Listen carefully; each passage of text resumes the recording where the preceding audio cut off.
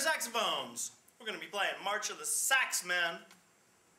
We're going to start at square two and go all the way down to the first note of square four. Notice our key sign, F sharp. We're also in 4-4 time, and it says moderate march tempo. March tempo is 120 to our quarter note. Let's try that.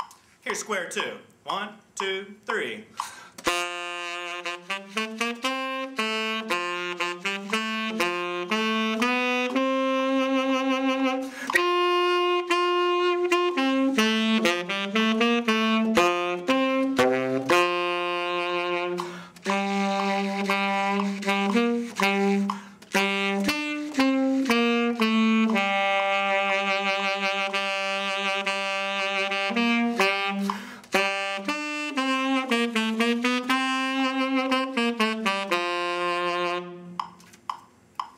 Good luck, tenors.